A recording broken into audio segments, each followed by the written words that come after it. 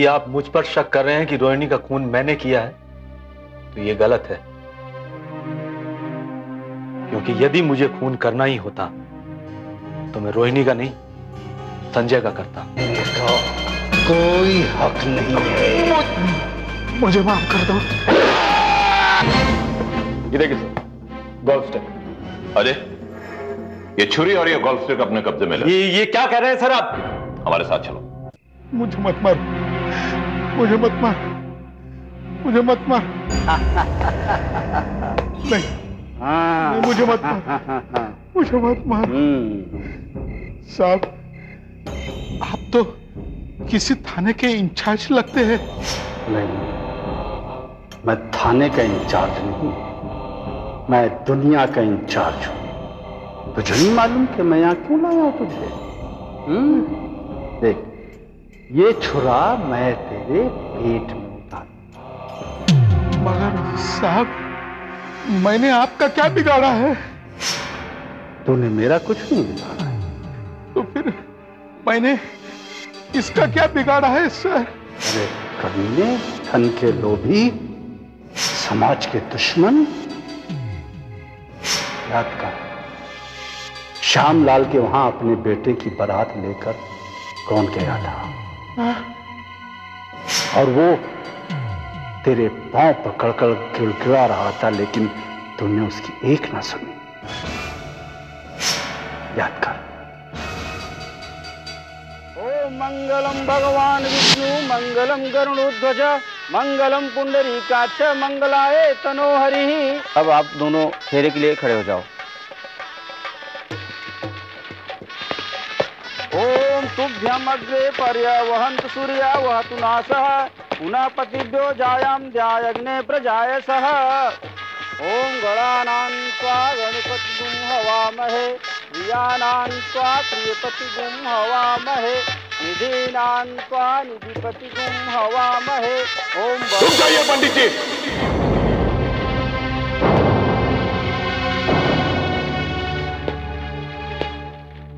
क्या बात है समझी जी श्यामलाल जी, हमारे और तुम्हारे बीच ये बात तय हुई थी कि तुम फेरोन से पहले मुझे पाँच लाख रुपए नगद दोगे।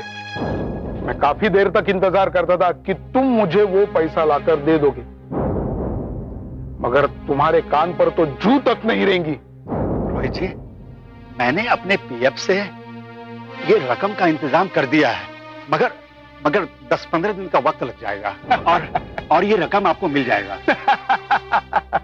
वाह वाह श्यामला जी। बड़ी अच्छी कहानी बना ली। तुमने मूड समझ रखा है मुझे? ये देखो मैं सब समझता हूँ। और तुम्हें 10 मिनट की मोहलत देता हूँ। अगर वो रकम मुझे नहीं मिली तो बारात वापस जाएगी। नहीं प्रभु जी नहीं। भगवान के लिए ऐसा मत कहिए। मत कहिए ऐसा भगवान के लिए हमारी इज़्ज़त आपके हाथ में है। देखो, मैं सब समझ गया हूँ। अरे, पैसे देने की नियत ही नहीं रही। चलो बेटे, राजकुमार, ये शादी नहीं होगी। नहीं रोहित जी नहीं। मेरी बेटी की ज़िंदगी आपके हाथ में है। अगर अगर बारात वापस हो गई तो बड़ी रुसवाई होगी। जग हंसाई होगी। फिर कौन मेरी बेटी का हाथ पकड़ेगा? कौन मेरी बेटी का हाथ पकड़ेगा?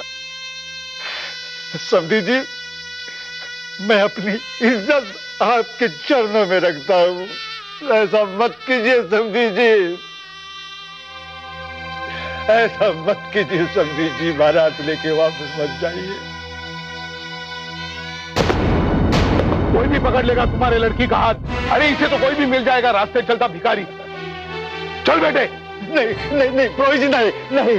आप भारत वापस मत ले जाइए। आप भारत वापस मत ले अरे नाले तूने सुना नहीं? चल। नहीं नहीं बेटे रुक जाओ रुक जाओ।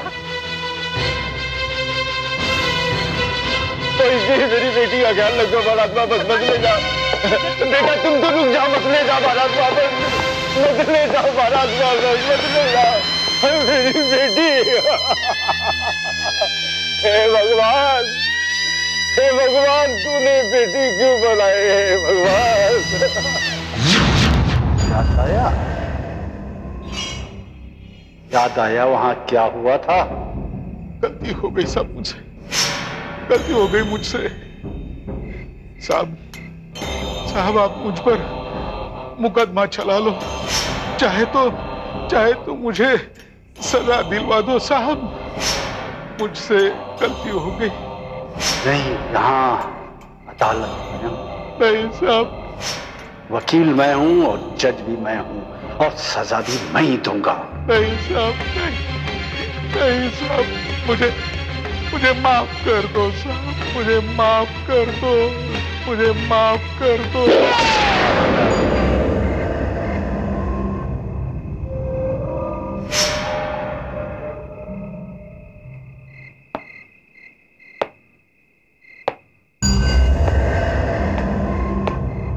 देखिए, सर, मैं आपको पहले ही बता चुका हूँ।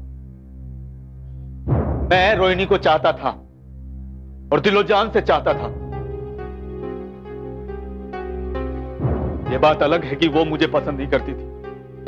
लेकिन सर, मैं इतना घटिया इंसान भी नहीं जो अपनी चाहत का खून कर दे मैंने उसका खून नहीं किया, सर। मैंने उसका खून नहीं किया। नहीं किया मैंने उसका खून। नहीं इंस्पेक्टर दाम। हमें तुम्हारे जवाब से तसल्ली नहीं वी आर नॉट सेटिस्फाइड इसलिए हम तुम्हें हिरासत में लेते दामले हो सकता है कि तुम सच कह रहे हो लेकिन कानून जज्बात पर नहीं सबूत पर अपना काम करता है। सर आप मेरा यकीन कीजिए मैं सच कह रहा हूँ। और इस तरह मुझे हिरासत में लेना मेरे साथ जाती है सर।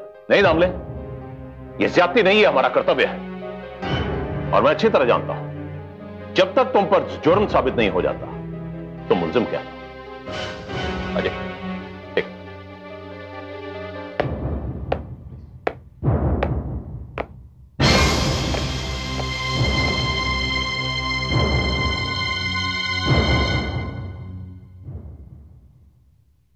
छोड़ो मुझे। कहता हूँ छोड़ो मुझे। छोड़ दो मुझे। ठीक नहीं कर रहे हैं आप लोग। मैं कहता हूँ अच्छा नहीं कर रहे हैं आप लोग। मैंने किसी का खून नहीं किया, मैं निर्दोष हूँ।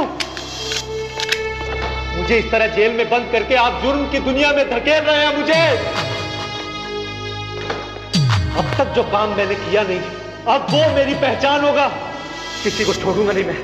एक एक से गिन गिन कर बदले लूँगा मैं एक एक से गिन गिन कर बदले। जय माँ दुर्गे, जय माँ दुर्गे।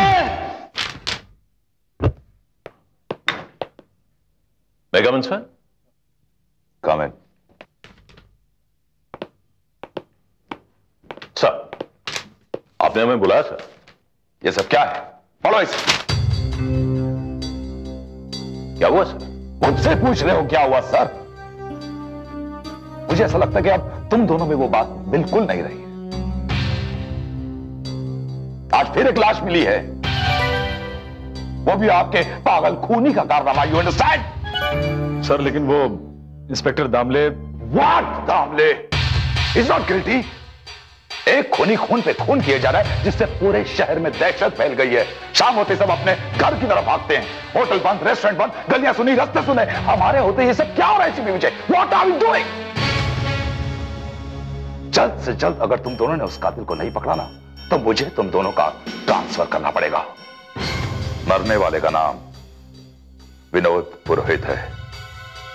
और कुछ अरसा पहले ये अपने बेटे की बारात दुल्हन के घर से वापस लेकर आया था। सर मैं आपको यकीन दिलाता हूँ कि हम बहुत जल्द कातल तक पहुँच जाएँगे। आई होप सो अब आप लोग जा सकते हैं। Sir sir.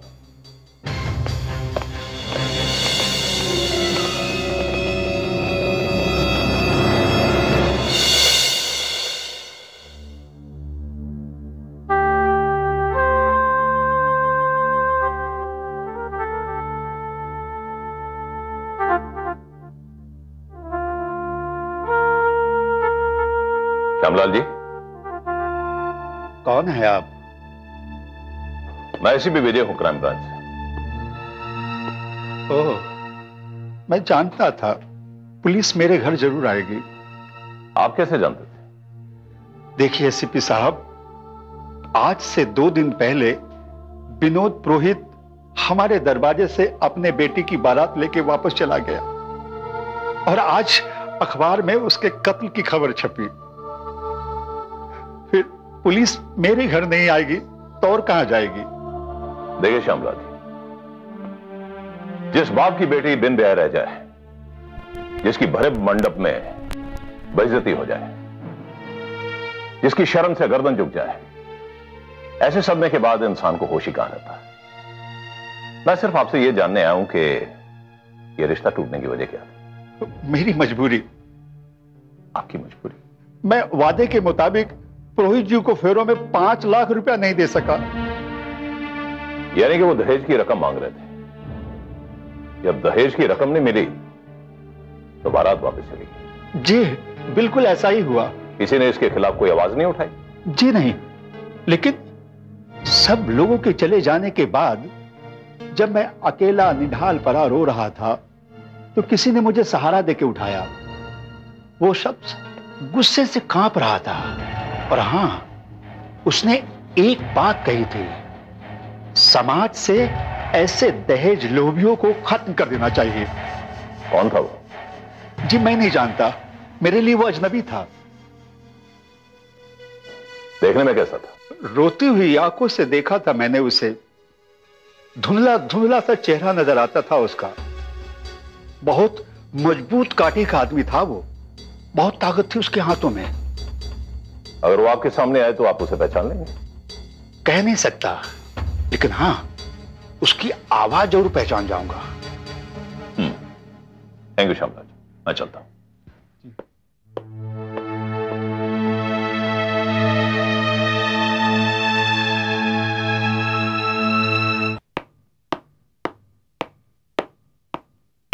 सर ये रही विनोद पुरोहित की पोस्टमार्टम रिपोर्ट सर कातिल भी वही और कत्ल करने का तरीका भी वही। वही गोल्फ स्टिक वही रस्सी और छुरा भी वही। लेकिन सर कत्ल करने की वजह नहीं मालूम इंस्पेक्टर अजय कत्ल की वजह यह है कि विनोद पुरोहित दहेज के लालच में अपने बेटे की बारात वापस ले सर उसके बेटे ने कुछ नहीं कहा? नहीं। एक बात कहूँ सर। अगर मैं उसके बेटे की जगह होता ना तो अपने लालची बाप को वही गोली मार देता। और उस लड़की से शादी करके सीधा अपने घर ले आता था। इडियट बेकार की बातों में अपना वक्त क्यों बर्बाद करते उस मैडम की रिपोर्ट देखी तुम जी हाँ सर देखिए उसमें विनोद पुरोहित की मौत का वक्त 10 और 11 के बीच है। और उस वक्त हम दामले के घर पर सर इसका मतलब यह हुआ कि दामले हमारे शक के दायरे से बाहर है। बिल्कुल। हम्म। कम सर।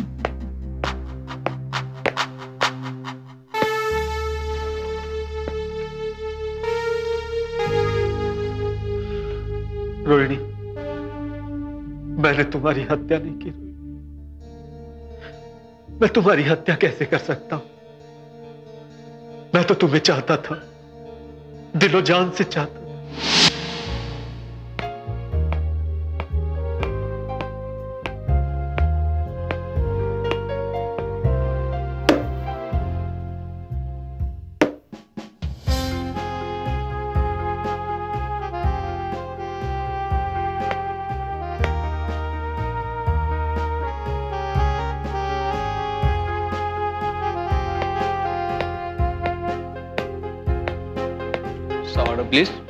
किसी का इंतज़ार कर रहा हूँ। सुना नहीं तूने किसी का इंतज़ार कर रहा हूँ। सर आप पिछले एक घंटे से बैठे हैं।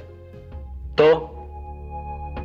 सर आप पिछले एक घंटे से खाली बैठे हैं। हाँ तो क्या हुआ एक घंटे से बैठा हूँ तो? जानता नहीं मैं कौन हूँ। सर आप कोई भी हो मुझे उससे क्या? मैं अपनी ड्यूटी कर रहा हूँ। जा करना मारा जाएगा इंस्पेक्टर दामले के हाथों चल जा। सॉरी सर मुझे मालूम नहीं था आप इंस्पेक्टर हैं। हाँ ठीक है। सुन। सर कैसा लग रहा हूँ। सर एकदम फ़र्स्ट क्लास।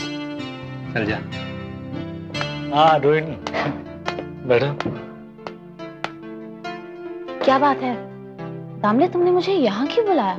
कोई खास बात है क्या? हाँ खास नहीं बहुत खास बात है। खास बात? किसी केस के बारे में? नहीं पर्सनल है। तो कहो ना।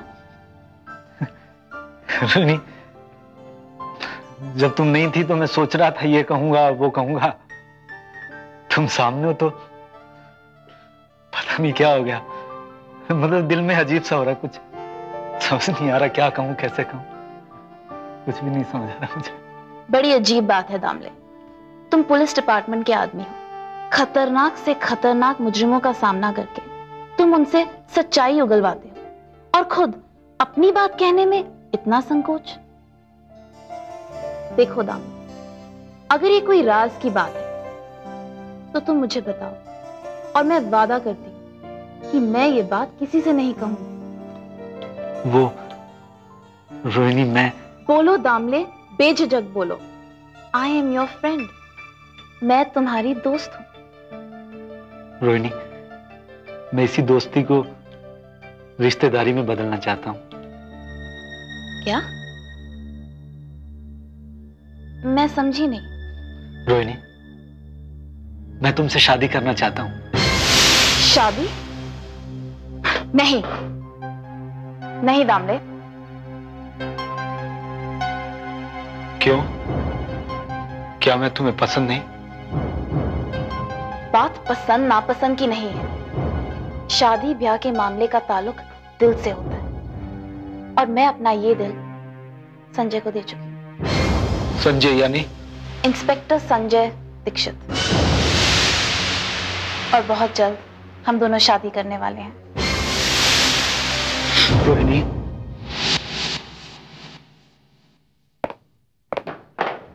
हौला दरवाज़ा खोलो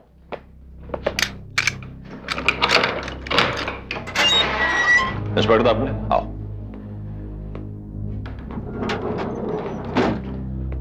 इंस्पेक्टर दामले हमारा शक गलत निकला शक की बुनियाद पर तुम्हें जो तकलीफ़ हुई है, उसके लिए मैं बहुत शर्मिंदा हूँ।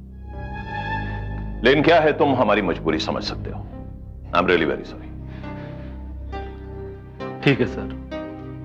आपकी मुझसे कोई जाति दुश्मनी तो है नहीं। आपने जो भी किया, वो आपकी ड्यूटी थी। आपका फ़र्ज़ था। और फिर मुझ पे शक करने की वजह भी थी। मैं रोहिणी से प्यार करता था। और वो संजय से शादी करना चाहती थी। और फिर मेरे घर पर एक लंबी सी छुरी और गोल्फ स्टिक का मिलना आपके शक को यकीन में बदलने के लिए काफ़ी था। मुझे आपसे कोई शिकायत नहीं, सर। आपकी जगह मैं भी होता तो यही करता। मैं चलूँ, sir. Yes Damle I am really very sorry once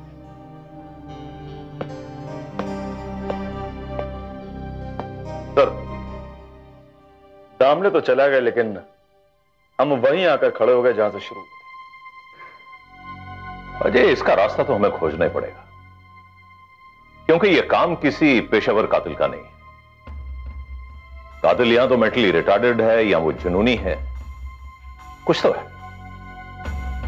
ऐसे आदमियों की मेंटल साइकोलॉजी के बारे में स्टडी करना बहुत ज़रूरी है। और मैं समझता हूँ इसके लिए हमें बैनी प्रसाद को मिलना बीनी प्रसाद श्रीवास्तव? हाँ Beni Prasad Srivastava. Okay okay. Sir तो फिर हम दोनों चलकर अपने बारे में भी कुछ पूछ लेंगे ना उनसे? अजय अपने बारे तो मैं कुछ पूछूँगा नहीं। और तुम्हारे बारे में कुछ पूछने की ज़रूरत नहीं। क्योंकि तुम तो ऑलरेडी पागलों जैसी बातें कर रहे हो। चले sir. Yes come follow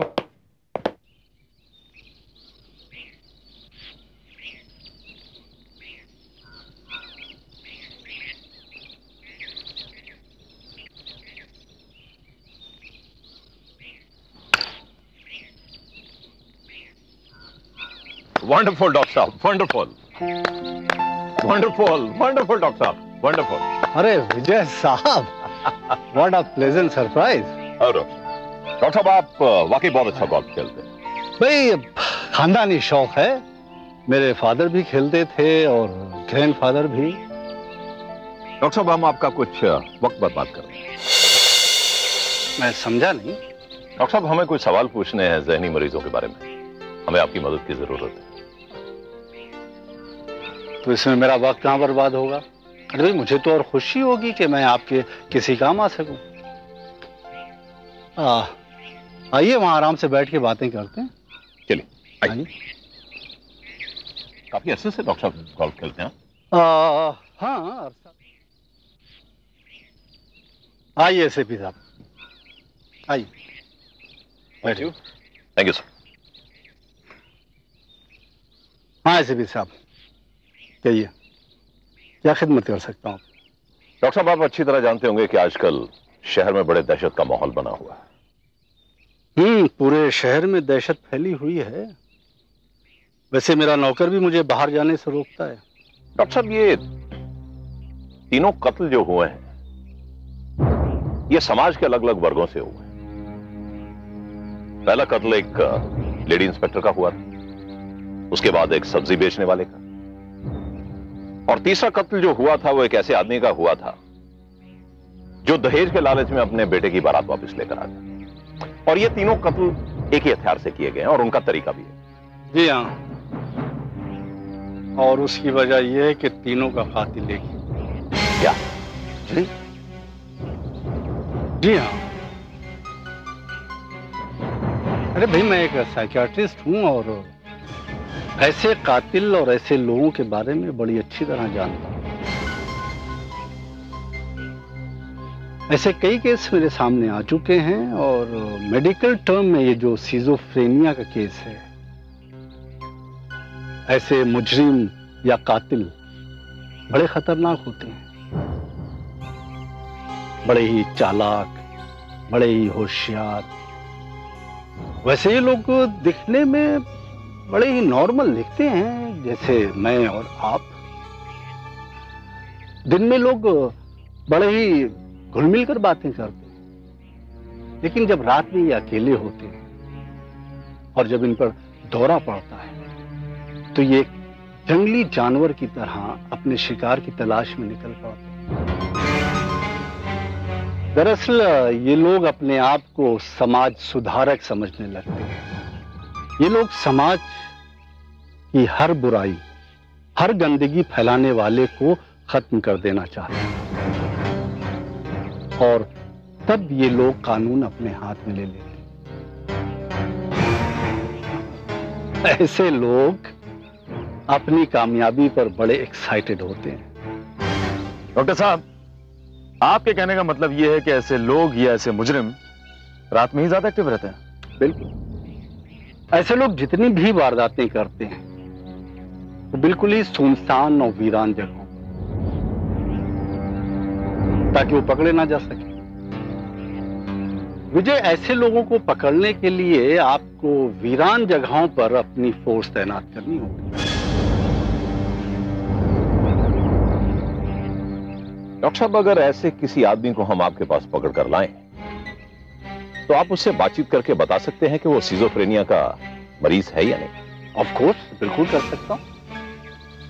ठीक है डॉक्टर तकलीफ़ के लिए माफ़ी चाहता हूँ। Thank you very much thank you doctor साहब कमन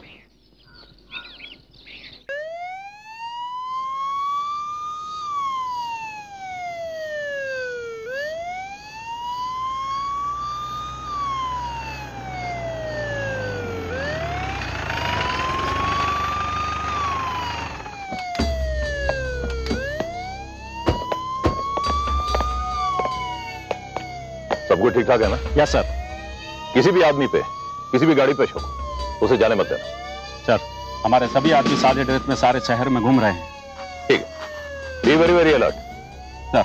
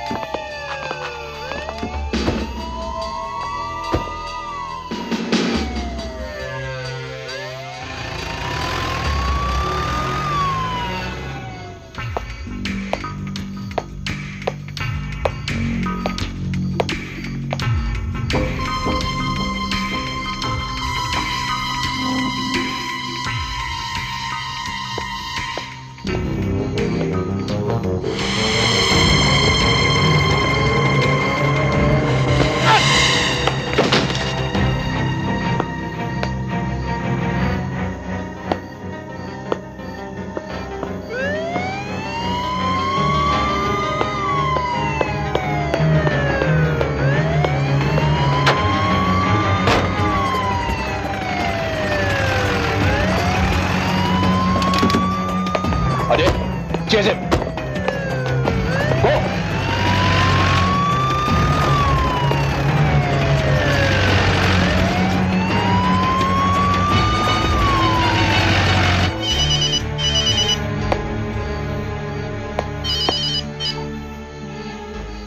hello control room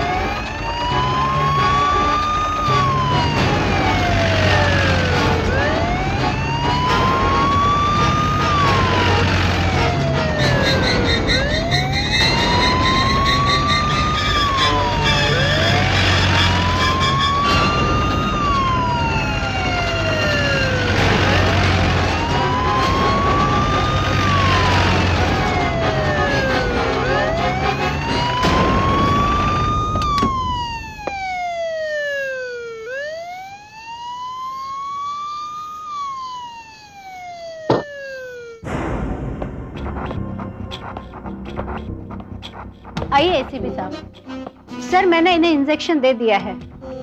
बहुत ही जल्द इन्हें होश आ जाएगा। सर कातिल बड़ा ही होशियार है। खून करने से पहले अपने शिकार को बेहोश करता है।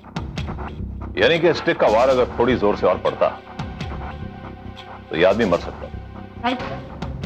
सर इस स्टिक पे जो फिंगरप्रिंट्स है उसकी रिपोर्ट कल आपको मिल जाएगी। ओके सर सर वो आदमी हमारे हाथ से निकल। गया सर उसकी जीप ने हमारे लोगों की जीप को इतना कंफ्यूज कर दिया। उसी का फ़ायदा उठाकर वो निकल गया। और हाँ सर जहाँ तक मेरा ख्याल है वो आदमी पुलिस ऑफिसर नहीं था। उसकी जीप पुलिस डिपार्टमेंट में नहीं थी और उस जीप का जो नंबर था वो भी फर्जी था। सर सर इन्हें होश आ गया है सर।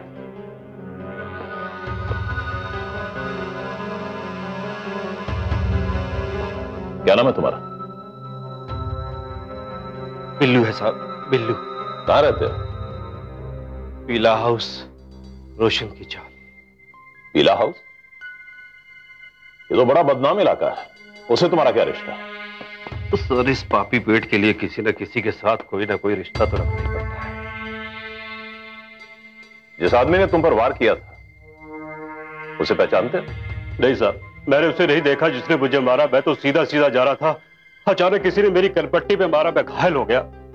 मैं उसे देख नहीं पाया साहब इतनी रात गए इतने सुनसान इलाके में। तुम क्या कर रहे साहब, उसका फ़ोन आया था। उसी धंधे के लिए, साहब। कौन सा धंधा? साहब, दहशत के माहौल में मैं सारी की सारी लड़कियों को एक साथ नहीं ला सकता था। इसलिए मैं तस्वीर लेकर आया था। वो मुझे वही मिलने वाला था। अचानक किसी ने मुझ पर हमला कर दिया, साहब। तो यहाँ भी वही बात है। खैर आप वापस आओ तो जरा ध्यान से।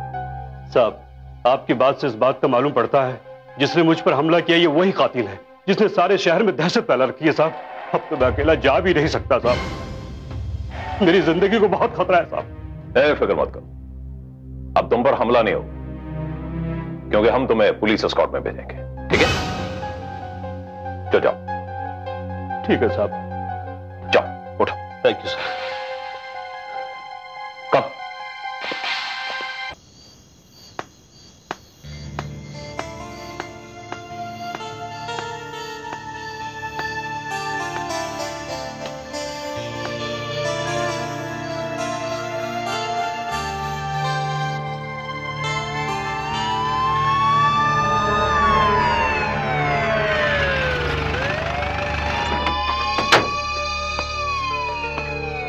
लड़की इतनी रात गए अकेली कहाँ घूम रही हो तुम? क्या बात है? तुम्हें पता है शहर में क्या हो रहा है? लोग डर के मारे घर से बाहर नहीं निकल रहे हैं। चारों तरफ़ खतरा ही खतरा है। इंस्पेक्टर साहब खतरा होगा आपके लिए। मैं तो लास्ट शो देख कर आ रही हूँ। वो सामने मेरा घर है। बस वहीं जा रही हूँ। जल्दी फटाफट।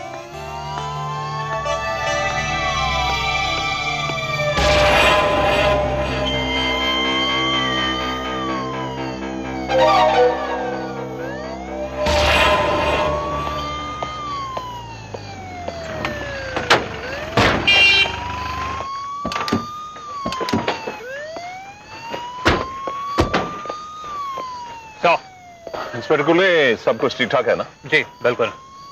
सर अभी अभी एक खूबसूरत सी लड़की यहाँ से गुजरी। खूबसूरत लड़की? इंस्पेक्टर क्या तुम जानते नहीं कि आजकल कितनी वारदातें हो रही यहाँ पर?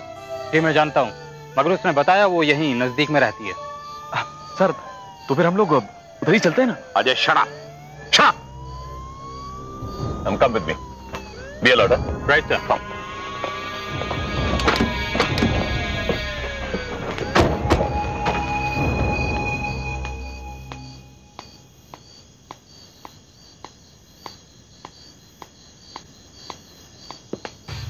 ए लड़की कहाँ जा रही है? जी साहब अब वो मैं अपने घर जा रही हूँ। ये घर जाने का रास्ता है तुम्हारे? चल जाने चल। थाने? हाँ थाने। लेकिन थाने को इंस्पेक्टर साहब आप कहें तो यही फैसला हो जाए? चुपचाप चल उधर मेरी जीप खड़ी चल।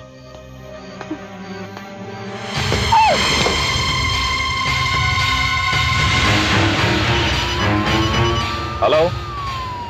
हाँ बोलो इंस्पेक्टर। क्या कहा? वो घर पे नहीं है? ओके ठीक है।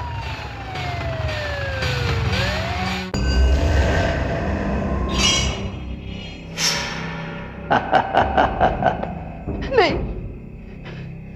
कौन हो तुम? कौन हो तुम? कौन हो तुम? मुझे यहाँ लाकर इस तरह की बात रखा है। तुम्हारी बलि देना चाहता हूँ मैं।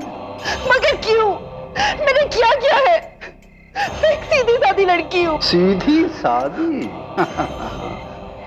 तू कलंक है कलंक और इज़्ज़त के नाम से अपना शरीर बेचती है। अपना देह व्यापार करके समाज में गंदगी फैलाती है लोगों का चरित्र भ्रष्ट करती है। देखिए मैंने जो कुछ भी किया मजबूरी में किया। मजबूरी? ये मजबूरी नहीं। नहीं थी।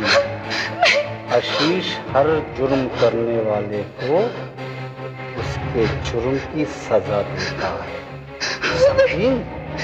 आशीष का न्याय।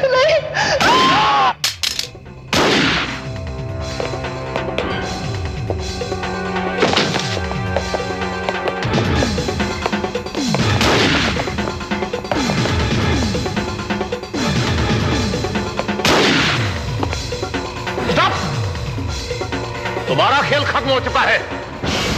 Your game is over now Beni Prasad नहीं। नहीं, विजय, अभी खेल खत्म नहीं हुआ है। अभी समाज में बहुत सारे मुजरिम बाकी हैं। उन्हें सजा देनी है मुझे। मैं बेगुनाहों को नहीं मारता। गुनाहगारों को सजा देता हूँ। और मैंने इंस्पेक्टर रोहणी को इसलिए सजा दी क्योंकि वो अपनी ड्यूटी पे निग्लिजेंस कर रही थी। और मैंने उस सब्ज़ी वाले गोपाल को इसलिए सजा दी क्योंकि वो कम तोलता था बेमानी करता था। और मैंने पुरोहित को इसलिए सजा दी क्योंकि वो दहेज का लोभी था। और मैं बिल्लू को इसलिए मारना चाहता था कि वो लड़कियों की दलाली करता था। और मैं इस लड़की को इसलिए सजा देना चाहता था तो प्रसाद पुलिस की वर्दी पहनकर तुम जो कुछ भी कर रहे थे, वो न्याय और जस्टिस की खातिर नहीं था, बल्कि तुम्हारा जुनून, पागलपन और तुम्हारी वहशत थी। तुम एक अच्छे सोशल वर्कर थे, एक अच्छे साइकेस्ट्रिस्ट थे। लेकिन साथ साथ तुम सीजोफ्रेनिया के मरीज़ थे। दिन भर तुम ठीक रहते थे, लेकिन जैसे ही रात होती थी, तुम पर पागलपन का दौरा पड़ जाता था। तुम जुनूनी हो जाते थे, उसी से तुम कातिल बन जाते थे। जानवर बन जाते समझे तुम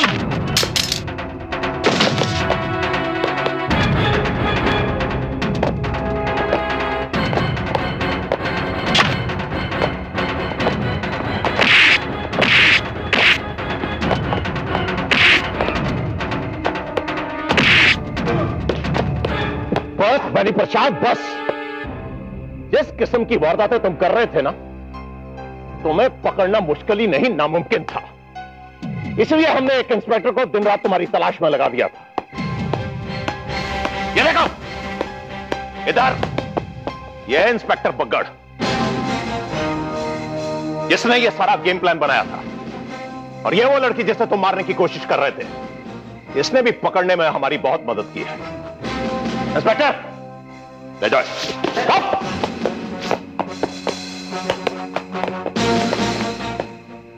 सर ये लड़की कोई मामूली लड़की नहीं है। ये भी हमारे डिपार्टमेंट की है। क्या? जी हाँ सर। ये है inspector Meena Sehgal.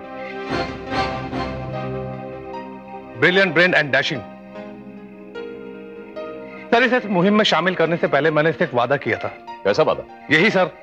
कि इस केस की सक्सेस के बाद हम इसे अपनी टीम में शामिल कर लेंगे। क्या? यस सर ये मेरी ख्वाहिश है and I hope you will not disappoint me नहीं बिल्कुल नहीं इंस्पेक्टर मीना। मैं तुम्हें बिल्कुल डिसअपॉइंट नहीं करूँगा।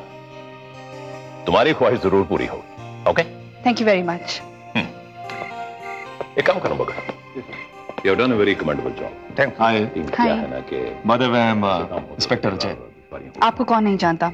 आप तो हीरो हैं। बस एक हीरोइन की तलाश है ज़िंदगी में। जी? अब मेरा मतलब है मैं तुमसे सीनियर हूँ। ऑफ़ कोर्स सुनो अब तुम्हें जो भी इंस्ट्रक्शंस लेने हो वो सिर्फ़ मुझसे लेना। और विजय सर? विजय सर क्या है? वो करते क्या है? सारा काम तो मैं करता हूँ। अजय? Yes sir. वहाँ क्या कर रहे हो? कम इतनी। वो पास कम! सर।